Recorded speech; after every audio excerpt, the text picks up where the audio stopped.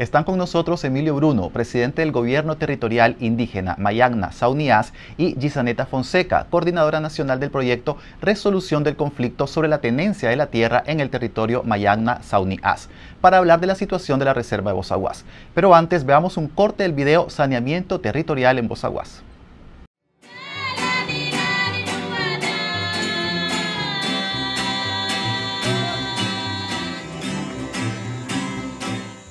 Mucho más antes que Nicaragua sea un estado de Nicaragua, eh, siempre la nación mayana ha estado viviendo en esta tierra de Nicaragua. Hoy en día pues están clasificados en diferentes territorios que componen los nueve territorios con 75 comunidades. Tiene 1.638.100 kilómetros cuadrados solamente territorio Mayana Unidas donde estamos eh, posicionado 18 comunidades dentro de este territorio con 8.300 habitantes. Hoy estamos enfrentando a partir de, 2010 eh, la situación masiva de la invasión de colonos, eh, donde llegan a destruir lo que es el medio ambiente, su biodiversidad ecológica.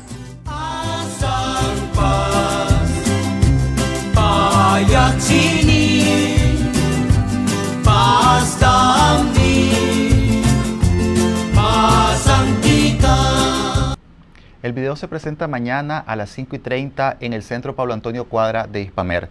Emilio, antes de hablar un poco del tema del saneamiento, me gustaría saber cuál es la situación actual en la reserva de Bozaguas, porque cuando un equipo de Confidencial y esta semana viajó, los indígenas se quejaban de eh, violencia, se quejaban de invasión por parte de colonos que llegaban del Pacífico. ¿Cómo está la situación ahora? Bueno, la situación actual en el territorio Mayán Nazaulés es bastante muy preocupante. Eh, hay, una invasión dentro del territorio Mayán Nazaulés y dentro de la Reserva Biosfera de Bozaguas. Y también anteriormente siempre el territorio, los territorios indígenas, especialmente el territorio Mayán Nazaunias, decíamos pues, Reserva Biosfera de Bozaguas como que estaba intacto, pero actualmente está destruido un 60% de la reserva que nosotros tenemos. Y también hay amenazas en algunas de las comunidades dentro del territorio, en especial una comunidad que se llama Bethlehem. Hay amenazas por los colones que están invadiendo el territorio. La gente, indígenas, las mujeres no pueden ir a la montaña buscar sus necesidades pues solo porque eh, hay amenazas, hay amenazas de muerte, la cual ellos tienen miedo de salir solos y no solamente en el sector Bethlehem, sino de que en Río Cabecera de Casca, en donde colinda con el territorio Saunibú, que en el municipio, en departamento de Genotega, también hay invasiones. Ustedes han acudido a las autoridades porque cuando nosotros hicimos este reportaje, este territorio, esta zona del territorio que usted menciona, pudimos documentar que había, que estaba muy, muy deteriorada con la invasión y con el deterioro del bosque. Sí, nosotros siempre hemos pues llegado a las autoridades para que nos apoyaran para esta situación. Si no nos han apoyado, pero realmente hasta la fecha pues no hemos logrado pues sacar las que están dentro del territorio. Y también nosotros un estudio realizamos ya con este proyecto y em, a base de, del estudio que nosotros hicimos, presenta, hicimos un plan de saneamiento y fuimos a dejar en PGR, en Procuraduría General de la República, y estamos esperando que nos den una respuesta sobre el saneamiento. Y Saneta, ¿cómo han trabajado este, el proyecto del saneamiento? Para comenzar, ¿cómo se entiende el saneamiento? ¿Qué es? Bueno, tema un poco complejo porque responde a las necesidades de cada territorio. En el caso de Mayagna Saunias, eh, cuando el territorio fue titulado en el año 2005 no existía ningún eh, tercero.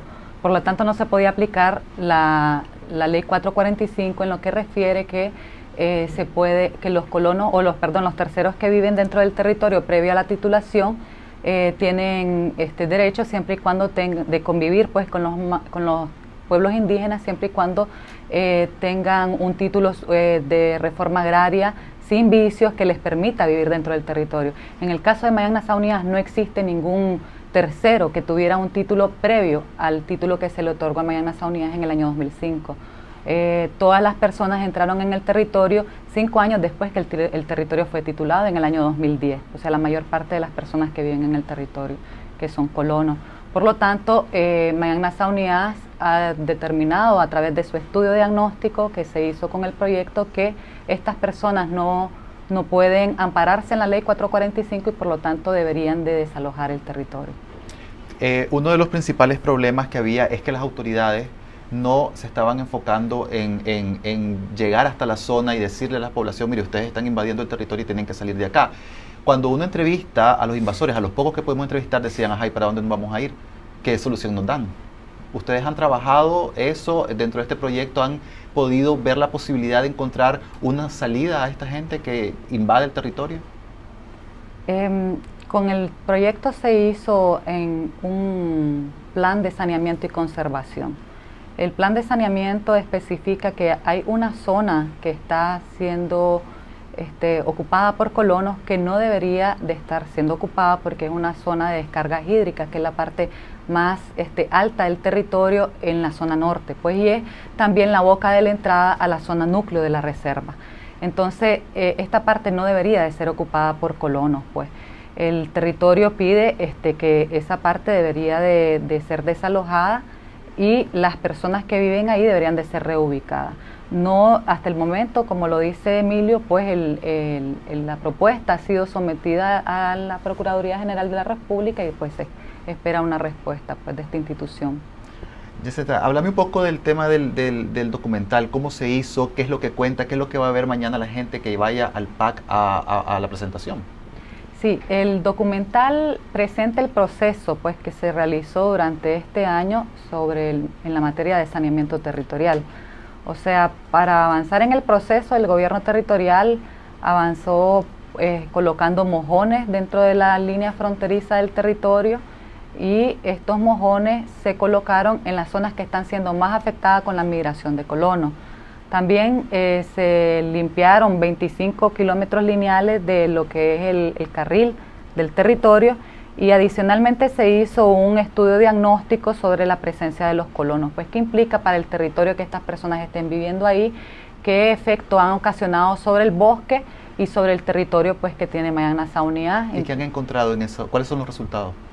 Eh, pues sea, lo más grave es que se han perdido 31 mil hectáreas de bosques primarios en este sector. Pues estamos hablando de que, lo que antes era un bosque que no tenía incidencia del ser humano, ahora está principalmente convertido en tacotales o, fincas, pues, para, este, para el ganado o para la agricultura, pues, que son las actividades a las que más se dedican los, los colonos.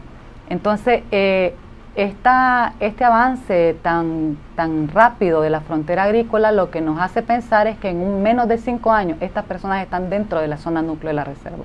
Entonces eso es bastante grave, pues aparte el estudio no pudo profundizar qué implica la pérdida de, esta, de este eh, recurso natural porque tendría que hacerse un estudio mayor, pues, de qué tipo de árboles habían en ese, en esos lugares donde ahora hay tacotales eh, qué tipo de, diversidad biológica pues se ha perdido.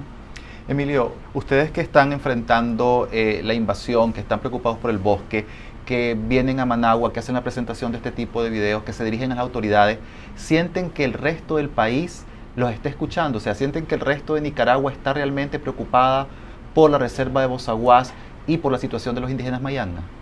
Sí, nosotros en varias ocasiones hemos venido aquí en Managua eh, hemos presentado estas situaciones que estamos enfrentando el territorio en las universidades, eh, a veces en las ferias, una vez en una feria presentamos esta situación que estamos presentando. Eh, sí, aquí en Nicaragua las autoridades competentes escuchan y ven la situación que nosotros tenemos, pero como decía anteriormente, no hemos tenido una respuesta exactamente de lo, que los territorios, pues deben del territorio que estamos pues preocupadas hasta la fecha, no hemos tenido respuesta, pero sé de que esta situación que estamos presentando no saben pues fuera del país. Gisaneta, Emilio, mañana la presentación entonces en el Auditorio, PAC, 5 y 30. ¿Entrada gratuita? Entrada gratuita, son bienvenidos. Y vamos a tener también la participación de una comisión de líderes del territorio que están acompañando a Emilio Bruno Así que los esperamos. Bueno, va a estar interesante. La invitación está hecha.